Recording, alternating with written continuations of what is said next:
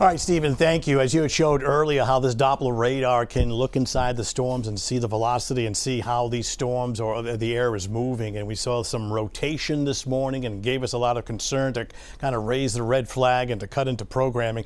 Now, the rest of the day, we are doing much better. But with that said, can't rule out an isolated shower or thunderstorm. It's just not the magnitude or the coverage of what came through this morning. It's clouds and a bit of hazy sun uh, looking at Providence. Now in New Bedford, especially out towards Buzzards Bay, you still have some rain and even some rumbles of thunder, but fortunately it's not severe and that'll be uh, pulling away very shortly. I'll show you the radar in just a second. Temperatures now that are in the uh, lower 70s, including 73 in Providence. Sunshine trying to come out a little bit this afternoon should boost the temperatures up close to 80.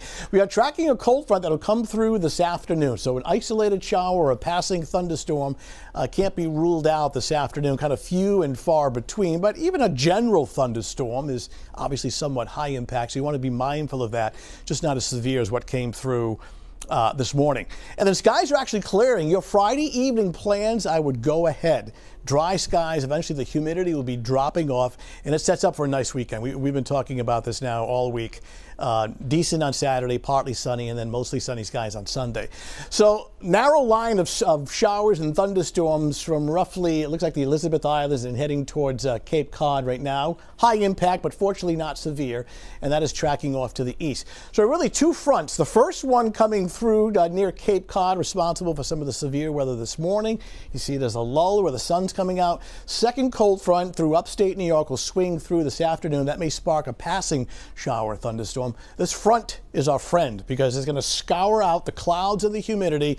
Behind this front, the air dries out nicely, so less humid and comfortable both Saturday and Sunday. So let's start with this evening at 7 o'clock. We're doing fine. Your Friday night plans are looking pretty good. Clear skies, lowering humidity overnight tonight.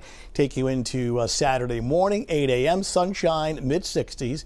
Now, notice the second half of the day, what appears to be like a solid overcast of gray skies, it's really a cloud sun mix. So the plan is mostly sunny morning, Partly sunny, but still nice, decent during the afternoon and early evening. Clear, dry, comfortable for Saturday night, and just beautiful and milder on Sunday. So looking good for this evening with clearing skies and lowering humidity. Tomorrow morning will feature mostly sunny weather. Nice temperatures starting off in the 60s early, 73 by 11 a.m. It's more of a cloud sun mixture during the afternoon tomorrow, but still nice, breezy, dry, and comfortable. All right, beaches for the rest of the day, partly sunny skies, a stray shower or thunderstorm can't be ruled out with temperatures in uh, the upper 70s. All right, there's your seven day forecast, and it shows uh, better weather tonight, and the weekend is looking pretty good. Partly sunny skies on Saturday, mostly sunny skies coming up on Sunday. On the Pinpoint 12 weather app on your mobile device or the phone, no matter where you are in a situation like this, you will hear a tone. You may not be watching the morning newscast, but you're going to get it on your phone,